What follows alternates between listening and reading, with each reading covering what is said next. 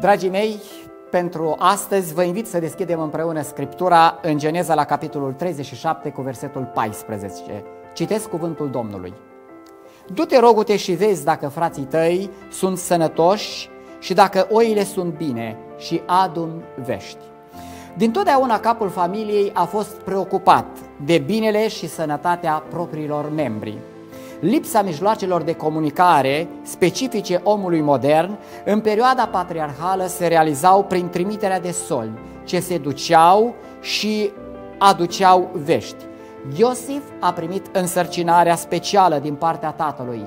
Vezi dacă frații tăi sunt bine, sunt preocupat de sănătatea lor și de situația lor economică. Vești despre oi. Primejdioasa călătorie și perseverența lui Iosif de a veni cu un răspuns l-a determinat să parcurgă mulți kilometri și să se expună la multe primejdii. Și astăzi omenirea este bolnavă, iar Tatăl Ceresc dorește ca frații să se intereseze de frați și de surorile lor. Domnul dorește să ne folosească să refacem conexiunile frățești pentru a afla două informații necesare de veacuri, vești despre sănătate și vești despre nevoile existențiale. De aceea, dragul meu, îmi permit astăzi să te întreb, ești sănătos? Virusul păcatului a atins cumva viața ta? Tatăl, prin Domnul Isus Hristos, are un remediu. Cine și ascunde fără de legea nu propășește, dar cine le mărturisește și se lasă de ele capătă îndurarea.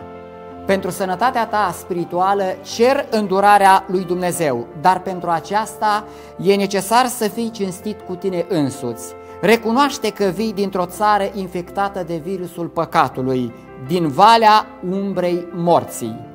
Și îndrăznesc să te întreb, azi ai avut ce mânca? Iosif trebuia să aducă vești dacă oile sunt bine, o sursă existențială a nomadului Iacob și a familiei sale.